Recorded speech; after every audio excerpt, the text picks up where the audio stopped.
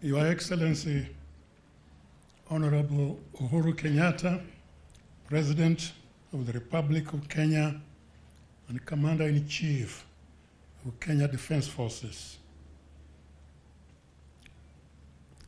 Principal Secretary, Ministry of Education, Chairman, Board of Governors, the Principal of the school, Baba Yao, the Governor of Kiambu, and all elected leaders present, distinguished guests, ladies and gentlemen. It is over 74 years since I left Mangu to pursue further studies.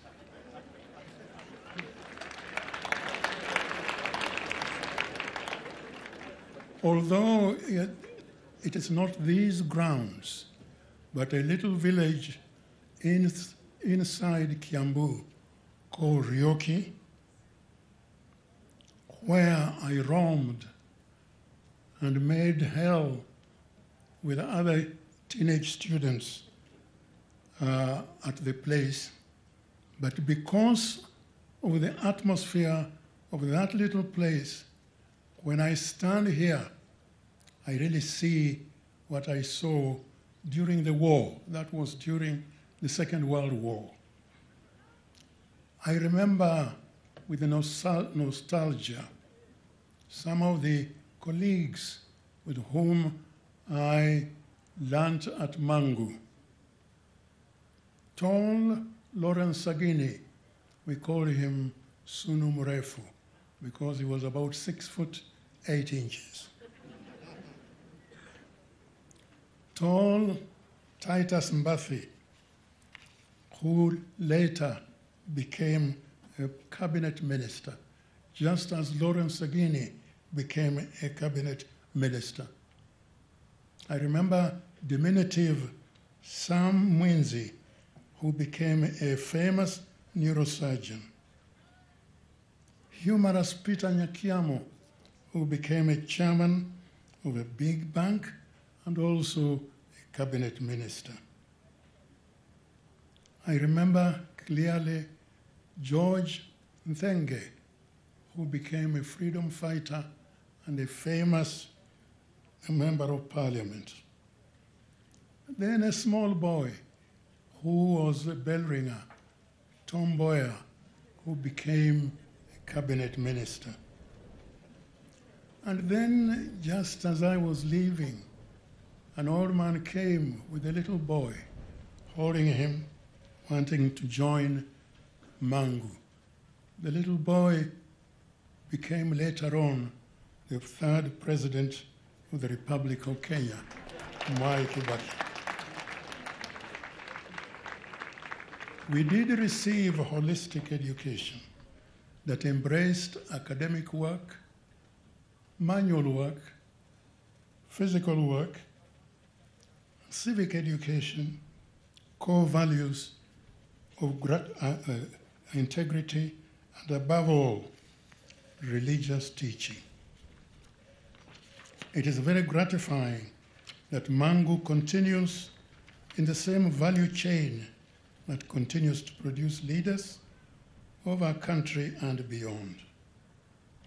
At the time when one is in school, it's only natural for a growing boy or a girl once in a while not to appreciate the teachings or taking them seriously. While it's the ultimate reason to take education, uh, uh, to take examination and, and excel in them, education should be purely should not be purely for passing exams. Today, it's prize giving day, which is important to all stakeholders the students, the parents, and the teachers. Today, there are those who are going to receive prizes. Others will not receive prizes. But I would like to ask the students to feel that they are all winners. There should be no envy, there should be no depression, nor should there be showing off. Society will ask you what you have done with your prizes, medals, and qualifications. Remember, the world owes you nothing. It, it is the other way around. You owe your family everything because of the sacrifices they made to get you where you are. You owe service to the country and to the world as a whole. So when you leave the grounds of Mangu High School for your further development, remember you are in debt to mankind. Mangu High School Board of Governors, thank you for inviting me to this occasion to be able to breathe the air of Mangu again. I want to thank also the student fraternity for the excellent work they have done for the school and for the young man who aspires to be the next the president in the future. I wish you the very best. Before I conclude, I want to inform you, to give you uh, the apologies of my dear friend and the third president of the Republic of Kenya, Honorable Mwai Kibaki. He has, he has given me, thank you, has given me a message which I will now read to you. Your Ex- Excellency, President Uhuru Kenyatta, members of the Board of Governors, Mangu High School fraternity, parents, alumni, friends of Mangu High School, ladies and gentlemen. I am pleased to share with you my joy and well wishes during Mangu High School Prize Giving Day. Mangu High School has a special place in my heart. This is where I cut my teeth as a budding scholar. Many years on, I still harbor fresh and fond memories of my days as a student at Mangu High School. It is Mangu that my sense and sensibilities of public service were honed. And it is here that I first encountered and engaged the face of Kenya as I interacted with boys from various parts of our country. I believe the current crop of Mangu High School students and the school vast alumni share similar sentiments.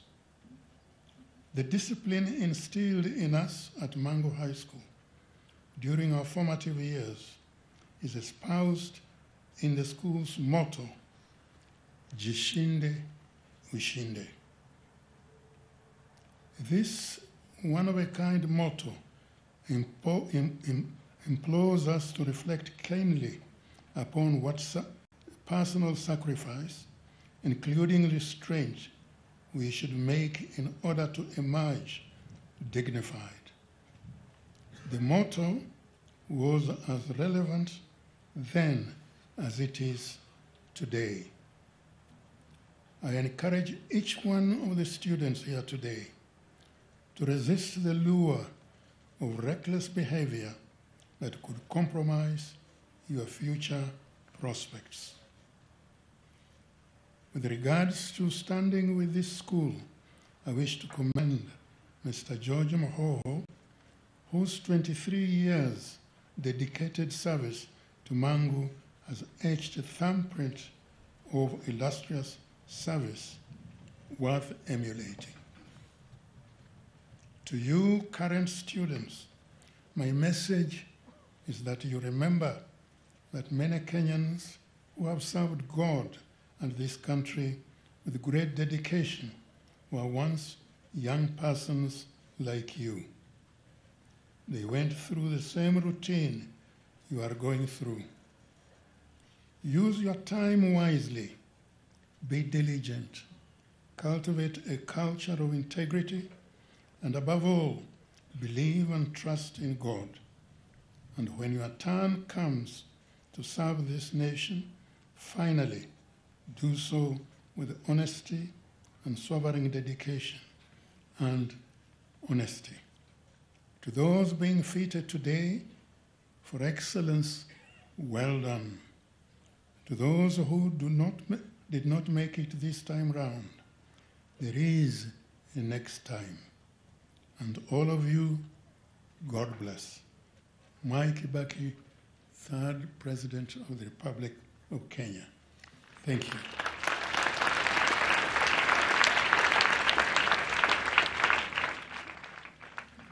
Thank you, sir, once again